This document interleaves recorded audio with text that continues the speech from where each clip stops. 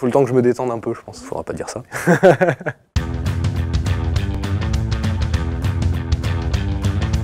Rennes, c'est l'endroit où il faut être aujourd'hui euh, dans la cybersécurité.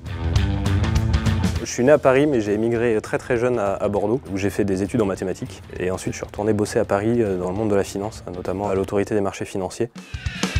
J'ai rejoint Gatewatcher euh, pour faire de la R&D en machine learning et on, m'a fait ouvrir les locaux rennais.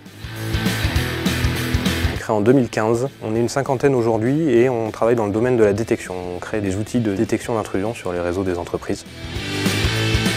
Pour plusieurs raisons. Euh, la principale, c'est l'écosystème rennais en cybersécurité, qui est très très dynamique. Et euh, il y a une forte euh, incitation des pouvoirs publics, hein, qui sont extrêmement dynamiques et qui nous ont très bien accueillis à notre arrivée.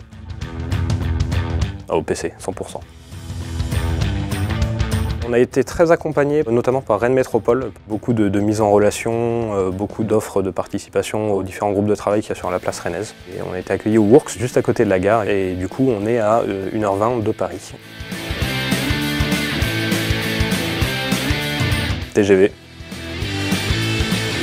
Y a beaucoup de, belles boîtes de cybersécurité qui sont, qui sont installées, il y a de très belles formations, euh, il y a un pôle universitaire avec la Cyber School qui vient de se créer, qui permet d'avoir de, la recherche et des recrutements potentiels. Euh, l'ensemble crée une émulation euh, qui est très intéressante. Baraton, faut pas le dire.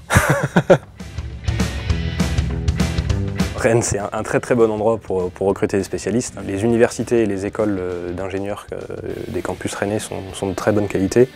Et euh, l'offre de formation en cybersécurité qui, sont en train d'étoffer encore aujourd'hui permet de recruter de très bons spécialistes. Vélo, absolument, tous les jours. Saint-Malo. Je suis un grand voileux et du coup, être à 30 minutes de mon bateau, c'est quand même un confort de vie qui est très important. J'ai eu la malchance ou la chance d'arriver en septembre dernier. Du coup, j'ai été heureux d'être confiné à Rennes plutôt qu'à Paris, parce qu'on est proche de la mer, il y a quand même pas mal d'espaces verts et de grands parcs très sympas dans Rennes, et euh, la campagne est très très proche.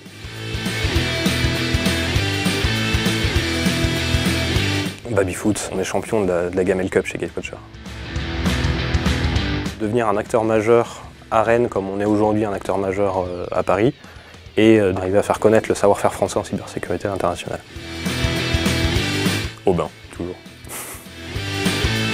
Rennes, c'est the place to be.